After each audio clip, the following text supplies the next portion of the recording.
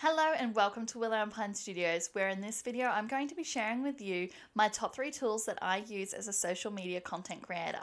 Now I know that your time is valuable, so we're going to jump straight into it. Since their launch in 2013, Canva continues to grow and expand into one of the leading content creation platforms. There are many different tools that you can use inside Canva, and my personal favorite being the royalty free images.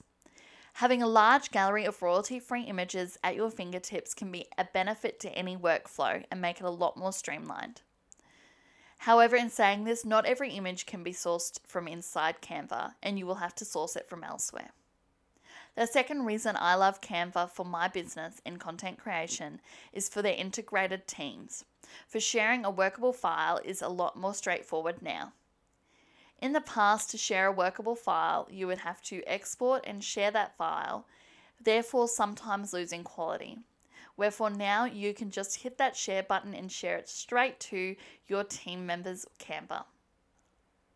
Canva is good, however, for more accuracy, I use Adobe Creative Cloud in a majority of my content creation. Some programs that I use are Illustrator, InDesign, and Photoshop. As a graphic designer and content creator, these programs are essential for exact measurement, file size, and export type.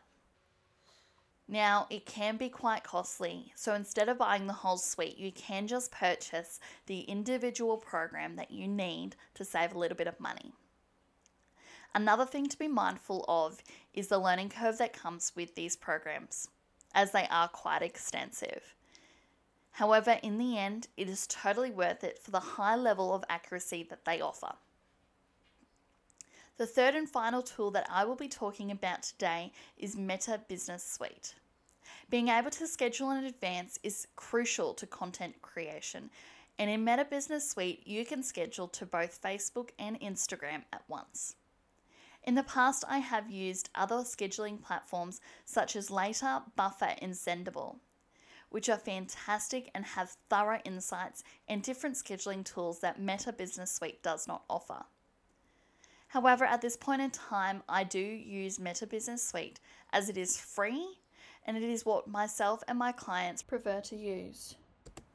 So, there you have it three tools that I use as a content creator. Did any of these tools come as a surprise to you, or do you already use them for yourself? Now, we do have a podcast where we publish actionable pieces of information every fortnight here on YouTube and on Spotify, so be sure to check it out. If you liked today's video, please like and subscribe to let us know that you did like it. See you next time, guys. Thank you.